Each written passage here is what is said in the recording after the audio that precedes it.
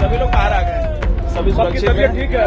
तबीयत ठीक है? डॉक्टर द्वारा चेकअप किया गया है? सभी हमारे इंजीनियर्स थे रात दिन अपने जोखिम लेकर जो काम किया है उन सबको भी बहुत बहुत धन्यवाद देता हूँ उनके आभार व्यक्त करता हूँ। सात बजकर पाँच मिनट पे एग्जैक्ट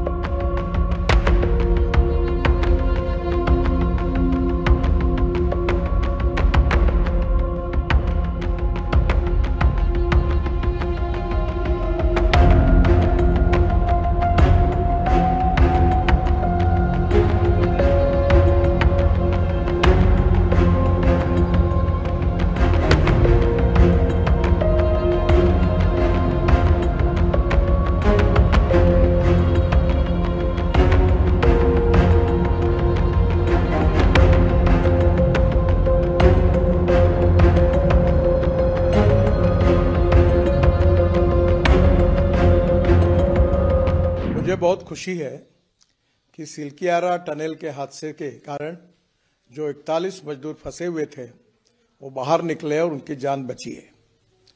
सभी एजेंसियों ने विशेष रूप से पीएमओ के मार्गदर्शन में भारत सरकार की सब एजेंसीज, उत्तराखंड सरकार और वहाँ की स्थानिक जनता और सब लोगों ने रात दिन मेहनत की, परिश्रम किए अलग अलग पर्यायों पर काम किया और उसके बाद ये सफलता मिली है। ये बहुत गहरा संकट था। पहली बार इस प्रकार का अनुभव आया। इन लोगों की जान बची, उन लोगों को मैं बहुत बहुत शुभकामनाएँ, शुभेच्छाएँ देता हूँ। और इसमें जान बचाने में जिन जिन भारत सरकार की एजेंसियों ने और राज्य सरकार की एजेंसियों ने और सभी हमारे इंजीनियर्स थे रात दिन अपने जोखिम लेकर जो काम किया है, उन सबको भी बहुत बहुत धन्यवाद देता हूँ, उनके आभार व्यक्त करता हूँ। ये घटना ने भी हमको सिखाने के, सीखने के लिए बहुत कुछ मिला है। अब हम लोग इसके बारे में टनल का सेफ्टी ऑडिट भी करने वाले हैं और टेक्नोलॉजी के साथ कैसे हम लोग ज़्यादा से अच्छी टेक्नोलॉजी का उपयोग कर सके, ये भी कोशिश करेंगे। हिमालय का स्टाटा बहुत ही फ्राजिल है और इसीलिए स्वाभाविक रूप से वहाँ काम करना भी बहुत कठिन है, पर इसके ऊपर हमको उपाय ढूंढना होगा। हम निश्चित रूप से उपाय ढूंढेंगे इसी विश्वास के साथ फिर से एक बार जिन जिन लोगों ने सहयोग किया, उनको बहुत बहुत धन्यवाद और विशेष रूप से जो मजदूर है उनके परिवारों को भी मेरी बहुत बहुत शुभकामनाएँ, क्योंकि वो बेचारे वापस आए हैं।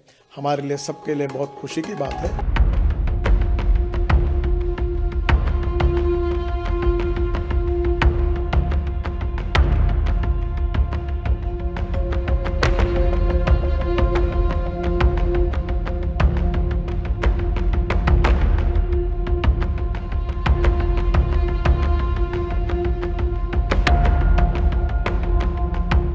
सभी लोग बाहर आ गए सभी लोग बाहर आ गए सभी लोग बाहर सुरक्षित हैं। सभी सुरक्षित तबीयत ठीक है। तबीयत ठीक है। डॉक्टर द्वारा चेकअप किया गया है और उनके एंबुलेंस में रखकर रख करके भेजा गया है। क्या कर रहे हैं अब उनके साथ? नहीं उन्होंने स्वागत किया है। उन्होंने और माननीय हमारे general general VK Singh ji ने और सभी लोग बाहर आ चुके हैं।